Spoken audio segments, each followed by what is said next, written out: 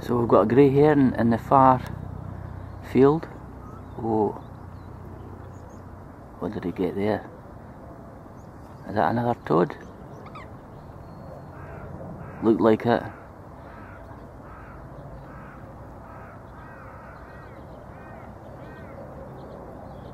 That was perfect. You see he's just walking in in the water there.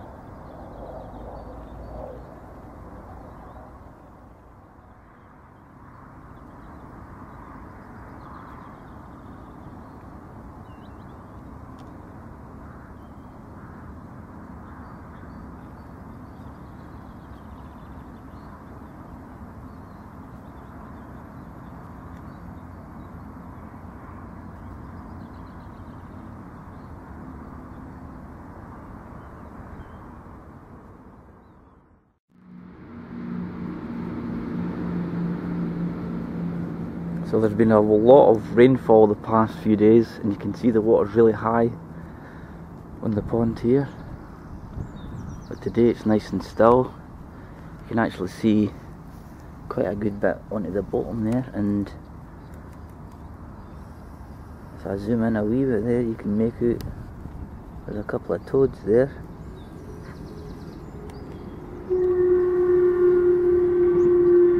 So, very very nice day to look for wildlife.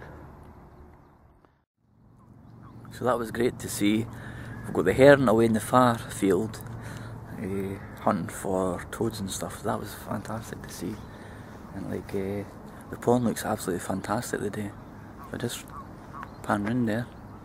The water is so still and it's clear as any. You can see right to the bottom. But the best news is down here. One of the swans is laying on the nest. They've built a nest. And she's sitting on it just now. Now that's within the space of a couple of days since I've passed here that they've built it. You can see her there. Let's get a wee bit of a close up. So there she is.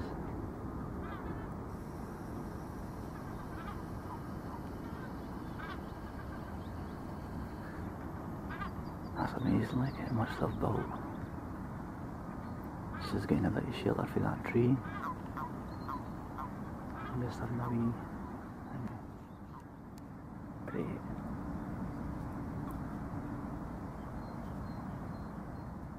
There we go. So there you see how close the nest is to the actual path. It was the same last year. She was uh, the nest was up here, but they've got a wee bit more uh, sort of reeds round about them here, and uh, that trail as well gives them a wee bit of sort of cover.